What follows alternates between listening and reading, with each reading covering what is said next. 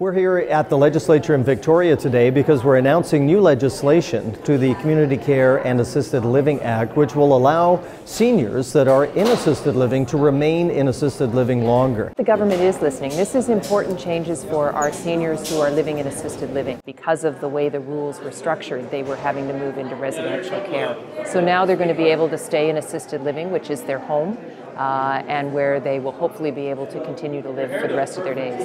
Uh, uh, if they require anything more than a couple of prescribed services on site, it does trigger them to have to uh, likely move into a more complex care situation. So the proposed legislation today will actually allow for seniors to live at home or home-like setting in an assisted living area for longer than they can today. Those are the changes we're making. We think this gives people more independence and gives them ability to live in a more appropriate setting for their abilities and their lifestyle.